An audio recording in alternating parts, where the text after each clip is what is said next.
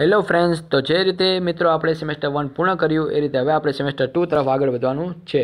તો આજે આપણે આ વિડીયોમાં standard second Gujarati medium subject Amol, સરળ, હિન્દી, એમાં લેસન નંબર સેવન એટલે આ સેમેસ્ટરનું ફર્સ્ટ યુનિટ રૂ કી, માત્રા, એના વિશે આપણે વાત કરીશું.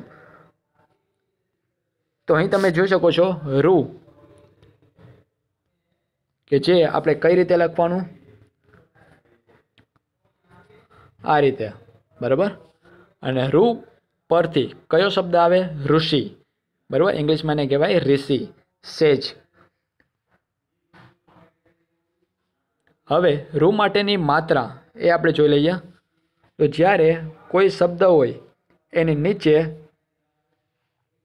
જ્યારે અર્ધચંદ્ર બિંદી જેમ કે અહીંયા કૃષક, તો નીચે તમને આપેલું છે ક્રુ શ ક. બરાબર? તો આ શું છે આપણી? માત્રા. કૃષક એટલે કે ફાર્મર ખેડૂત. બરાબર? ત્યાર પછી બીજો શબ્દ છે વૃક્ષ. તો એમાં પણ ઋની માત્રા લાગેલી છે, તમે જોઈ શકો છો.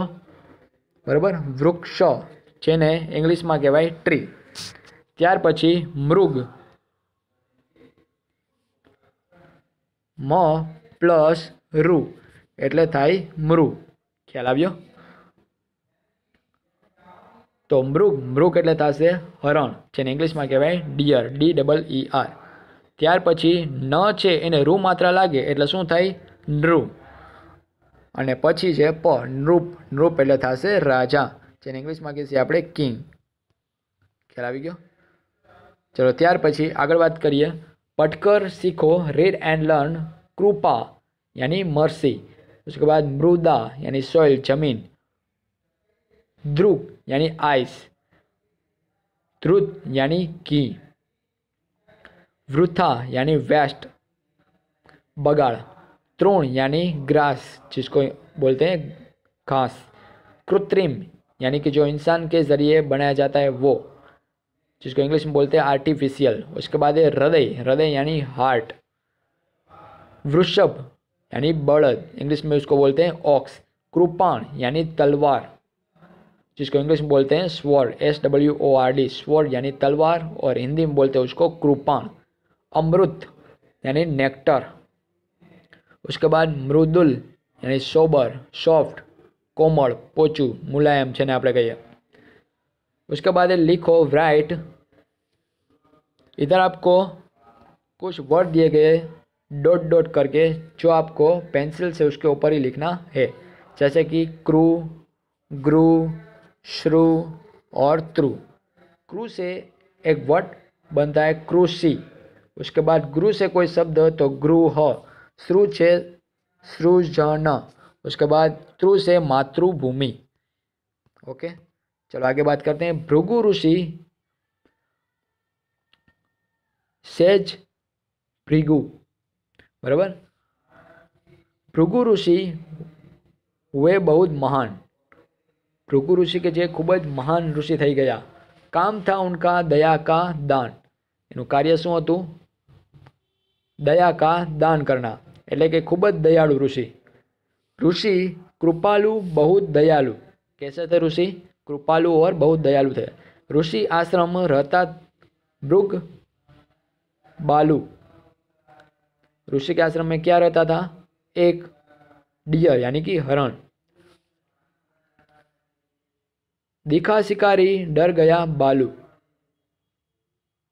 बराबर एक शिकारी को देखकर ये जो छोटा सा हिरन था वो डर गया भागा उधर जहाँ ऋषि कृपालु थे कहाँ पे वो गया जहाँ कृपाल कृपालु ऋषि भृगु ऋषि जो रात रहते थे वहाँ पे वो गया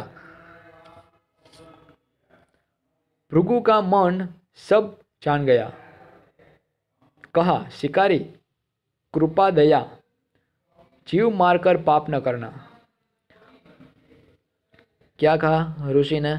कि शिकारी, कृपा, दया, यानी कि तुम कृपा करो, दया करो, जीव मारकर पाप मत करो, घृणा न करना, यानी कि तिरस्कार न करो, रक्षा करना।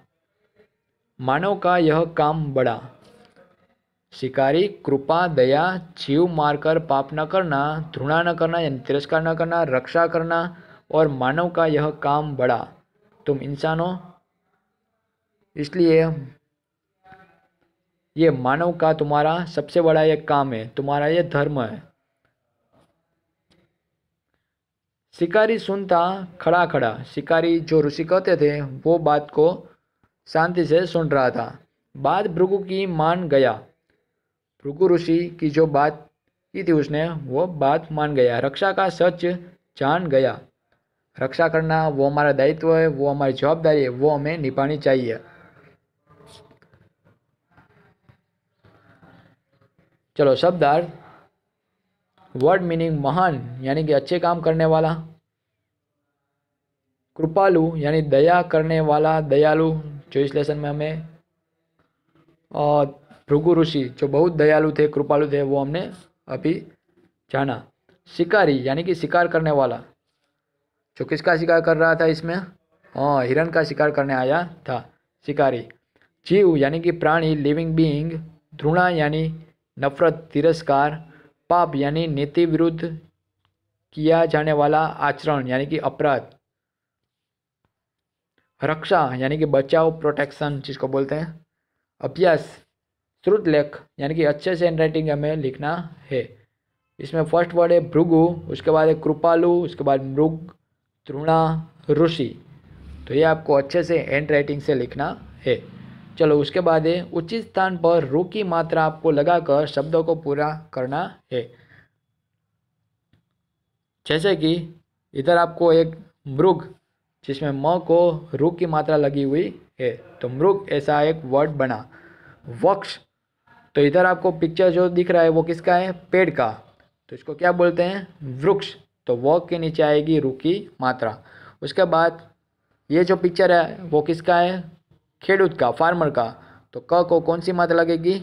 रुकी यानी कि कृषक ओके चलो, आगे हम बात करते हैं। अंग्रेज़ शब्द लिखो write this word in English नृप को इंग्लिश में क्या बोलते हैं? किंग उसके बाद कृषक, यानी कि फार्मर कृपा, यानी कि मर्सी हृदय, यानी कि heart H E A R T एक शब्द में आपको उत्तर देना है। ऋषि का नाम क्या था? तो भृगु। उसके बाद बालू घबरा किसकी शरण में गया? तो भृगु ऋषि की शरण में। बराबर? चलो, ग, किसको मारना पाप कहलाता है? को, कोई भी जीव को। तो क्या आएगा इधर? जीव। तो इधर हम लेसन नंबर सेवन फिनिश करते हैं, फिर से मिलेंगे नेक्स्ट वीडियो में। Thank you